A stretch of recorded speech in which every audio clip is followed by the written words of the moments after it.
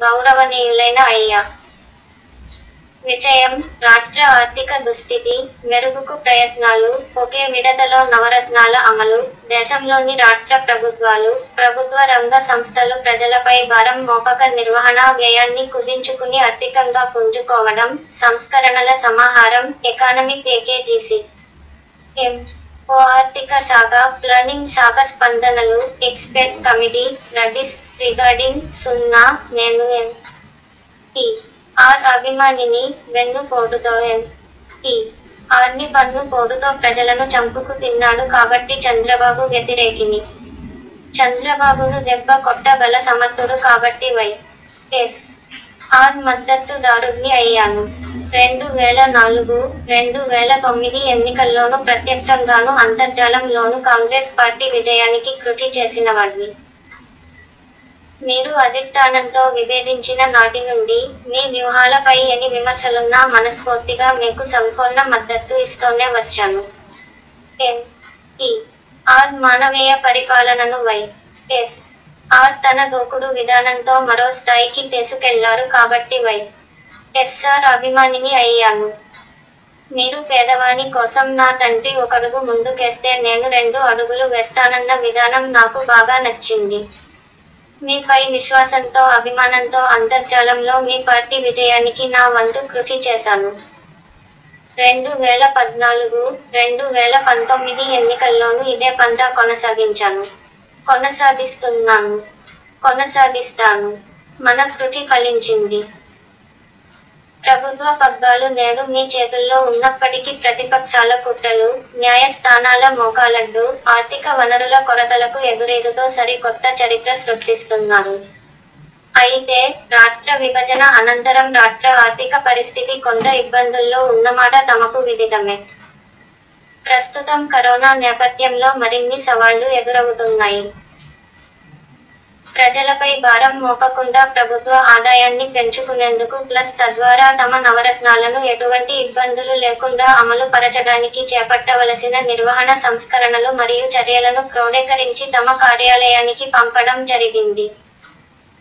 రెండు వేల పంతొమ్మిది మే దానిపై ప్రభుత్వం యొక్క నిర్ణయాన్ని తెలుపు కోరుతో నేను తమ కార్యాలయాన్ని ఆరు ఆరు రెండు సున్నా ఒకటి తొమ్మిదిన ఆర్టీ ప్రకారం కోరగా నా లేఖ మరియు సదరు లేఖ ప్లస్ నా ప్రతిపాదనలను ఆర్థిక శాఖకు నివేదించినట్లుగా మూడు ఒకటి ఒకటి రెండు సున్నా రెండు సున్నా నాటి లేఖ ద్వారా తెలిపారు. సదరు లేఖ యొక్క ప్రతి జతపరిచాను ఈ విషయమై నేను ఆర్థిక శాఖ వారిని ఆర్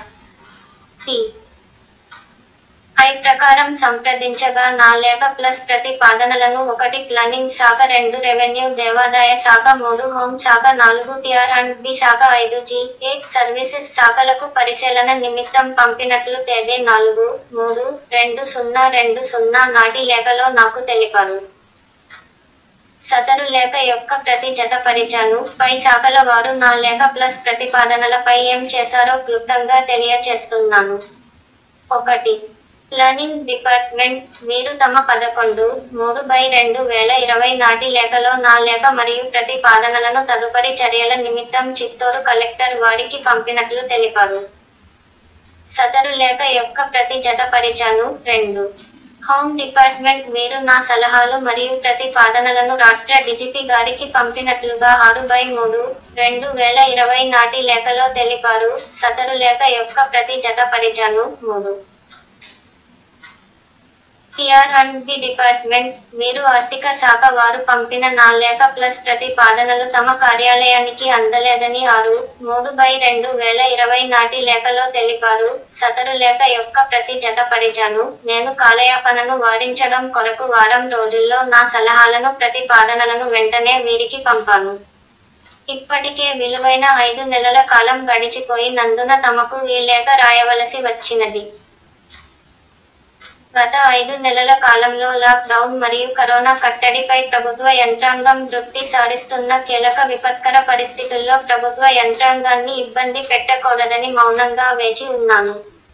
ఇంతకీ ఆర్థిక శాఖ ద్వారా నా లేఖ ప్లస్ ప్రతిపాదనలను అందుకున్న శాఖలు శాఖాధిపతులకు సైతం లేఖ ద్వారా కూడా సంప్రదించలేదు.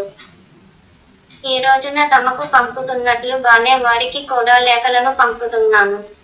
నా లేఖపై స్పందిస్తారో లేదో ఒక స్పందించినా ఎప్పుడు స్పందిస్తారో తెలీదు.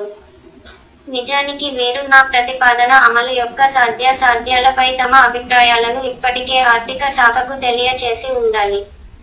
అలా తెలియచేసి ఉంటే నాకు కాపీ మార్క్ చేసి ఉంటారు. రాష్ట్ర అభివృద్ధి సంక్షేమంపై చిత్తశుద్ధితో తమరు అహర్నిశం కృషి చేస్తున్నారు. ప్రభుత్వ ఆదాయంలో చాలా భాగం నిర్వహణ వ్యయానికే ఖర్చు అయిపోతున్నది. చాలీ చాలని వనరులతోనే రాష్ట్రం ఇంతగా అభివృద్ధి చెందుతోంది అంటే ఆపై నా సలహాలు ప్రతిపాదనలు అమలైతే అటు అభివృద్ధి ఇటు సంక్షేమం జోరందుకున్నాయి. కావున నాపై దయ ఉంచి ఈ విషయమై చొరవ తీసుకుని పై తెలిపిన ఈ లేఖతో పాటు జతపరుస్తున్న ప్రతిపాదనలపై ఒక ఎక్స్పర్ట్ కమిటీ వేసి వారి సూచనలు తీసుకుని ఎంత త్వరగా వీలైతే అంత త్వరగా వీటిని అమలు చేయండి. ఇప్పటికే నాకు యాభై మూడు సం ల వయస్సు. ఈ ప్రతిపాదనలను పంతొమ్మిది వందల తొంభై ఐదు నుండి మన ప్రభుత్వాలకు పంపి రిమైండ్ చేస్తూ అలసిపోయాను. నాకింకా ఓపక లేదు కాబట్టి భారాన్ని మీ మీదకు నెట్టి వేస్తున్నాను. దయచేసి అర్థం చేసుకుని సత్వరమే చర్యలు తీసుకోగలరు.